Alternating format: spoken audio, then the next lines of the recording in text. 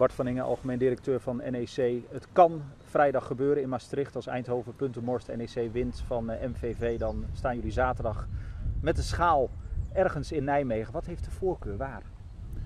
Nou, ik denk dat we eerst in Maastricht een resultaat moeten boeken. Hè. Dat is belangrijk. Maar de voorkeur heeft de stad. Dat hebben we al een vroegtijdig stadium aangegeven. En de supportersvereniging ook.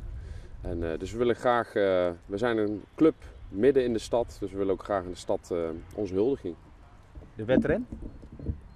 Ja, dat heeft de eerste voorkeur, ja. ja we hebben naar een aantal locaties gekeken. En uh, ja, de wedren qua, qua omvang en uh, ook qua veiligheidsaspecten past op dit moment het beste. Dus ja, dat is het belangrijkste scenario wat ons betreft.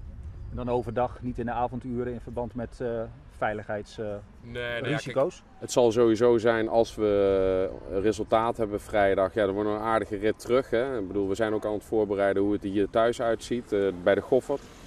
Um, nou, dan zal er toch nog wel wat gedronken worden, zo hier en daar. Maar de volgende dag, uh, volgens mij in het draaiboek hebben we nu staan dat we rond 4 uh, uur starten met het programma. En ja, het komt nou allemaal een stroomversnelling. Dus ja, ja, het is een gekhuis, hè? je merkt dat als je hier rondloopt, cameraploegen, ja. mensen die toch allemaal ook met een grote glimlach op hun gezicht rondlopen. Ja, graag zo.